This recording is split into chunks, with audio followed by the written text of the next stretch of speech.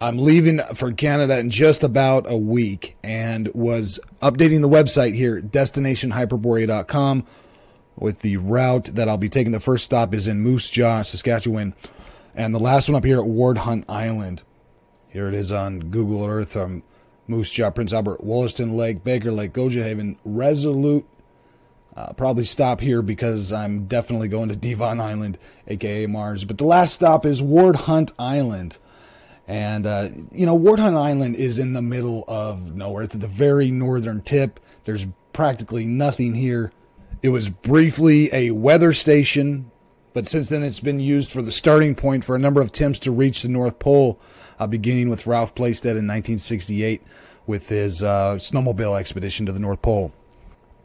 And there's basically nothing on this island. There's a little airstrip so they can land and drop off supplies for the uh, North Pole expeditions.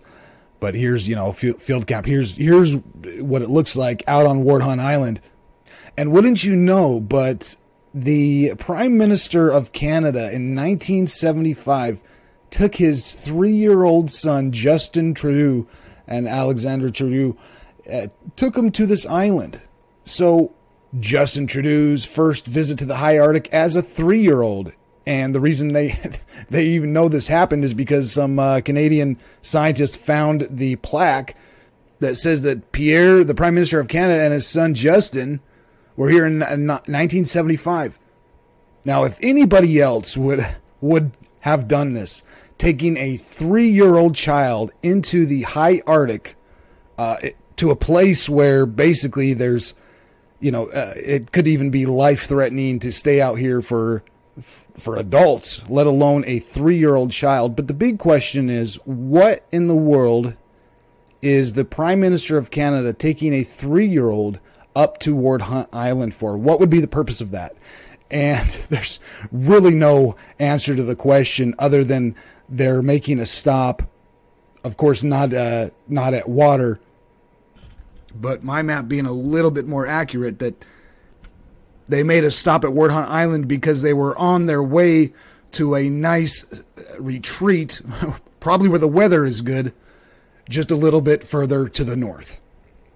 And that's the only point I'm going to be making in this video is that there is absolutely no reason that the Prime Minister of Canada, Pierre Trudeau, would take his sons, including his three year old son, into the furthest northest reach of the Arctic I mean, the the child could barely walk at this point, but I can see no other answer for why this trip would have been made other than if they were going to go to uh, somewhere for a nice vacation. And there is no place to go for a nice vacation all the way up here except the theoretical islands of uh, Hyperborea, which only our historians say exists.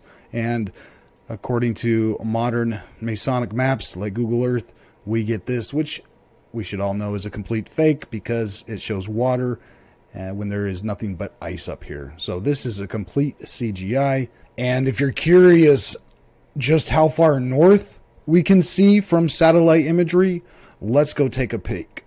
Okay, so here I've put a point on the map and it's at 78 degrees north. And if we zoom in at this point, we actually get just a sliver. Let me turn off the grid. Just a sliver of real photography. And you can see the fake blue ocean that doesn't exist and the uh, factual ice, which has been photographed. Now, one thing to take note here is that there is some type of man made. Uh, perfectly straight line with these dots. They look kind of like rivets or something like that. And if you draw a line, you can see there it continues on down here uh, it's a perfectly straight line.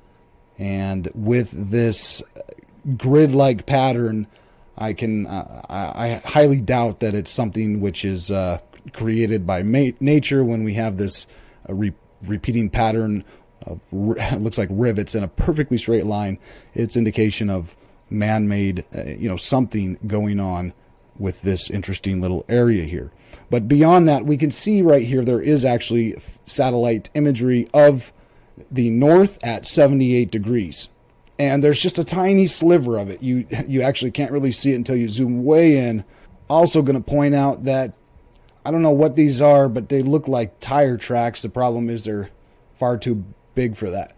And uh, on the ocean floor, and they seem to make these, you know, uh, turns. Here we get a 90 degree turn and then a, another turn up this way. And this area where he turned here, came down and went up, it almost looks as if there's some kind of a buried building right here. Uh, you could see a 90 degree angle and perfectly straight walls right here.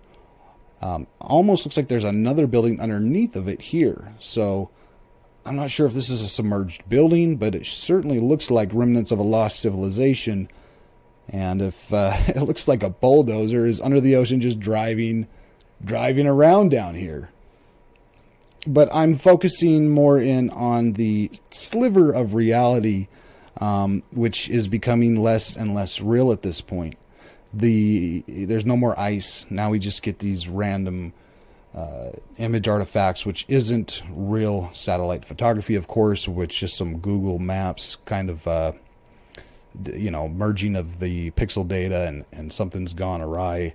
But I know the ocean isn't real, um, but I'm having to go south now to get back down uh, to where there is photography. You'll notice there is a massive black strip, and here the black strip ends. It's and the ice begins, so it's almost like here you can see the ice and uh, the the edge of the world, you know, and, and after this is nothing but blackness and darkness. But but this water is fake, and we know that there's ice on the sea up there. So this little sliver is kind of a, a little sliver of reality, but it ends right here, and and further north of here we don't get this picture of this ice.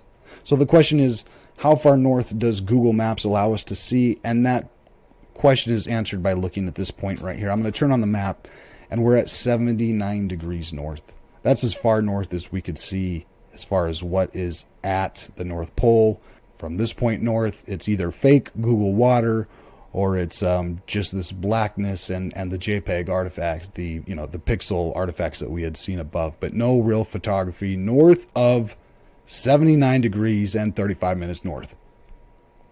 And to give you an idea of how much of an area that is, it is all of this. So you know, uh, perhaps this uh, the top of Greenland is accurate satellite photography, but as far as looking at what's in this area, we're not going to be able to see it.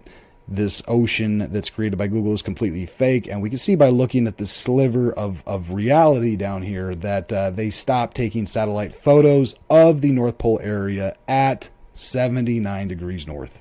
So, just like uh, regular everyday parents who have three year olds. Um, you know, a normal thing for me with my three year olds would be just let's take you to an area that's potentially life threatening, even for adults who are well equipped with Arctic gear. Um, but let's take a three year old there. I think there's some strong evidence here that uh, something is being hidden at the North Pole. But if you have a rational explanation as to why a parent would take a three year old to an area like this, please put it in the comments below because I can't quite wrap my head around it.